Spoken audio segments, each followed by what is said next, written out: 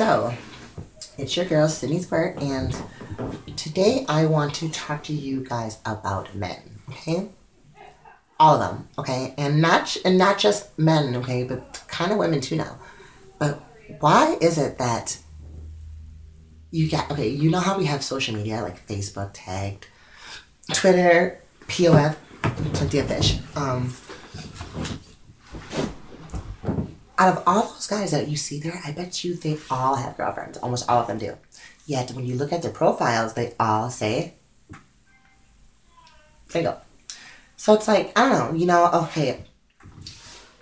That's fucked up for one, okay? Because you go home to this bitch and you spend the daytime cheating on her. I don't know, okay, um let's take it one step further these guys now are not only cheating on their girlfriends or their spouses, but they're also cheating on them with transgenders or gays.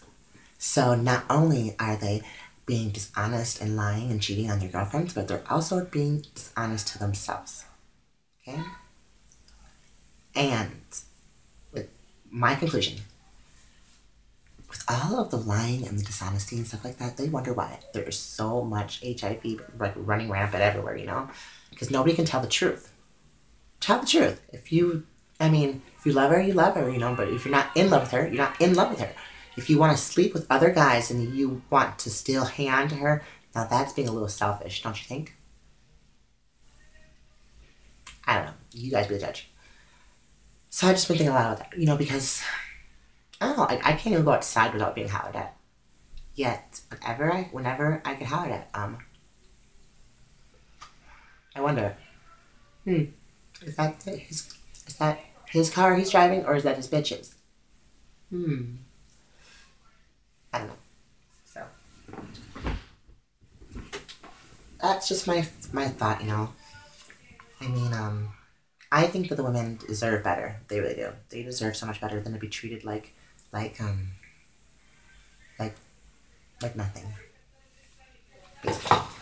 I want to know what you guys think about this, okay? Um, the, the down low, okay? Give me your opinions. I want you to share this, okay? Because I need this to get out there, you know. All these guys are doing girls wrong, you know? And don't get me wrong, okay? I said earlier that girls kind of do this too.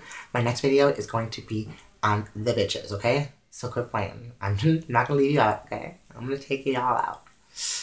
So, this is uh, another episode. Can't wait to see you guys' comments. Mwah. Bye bye.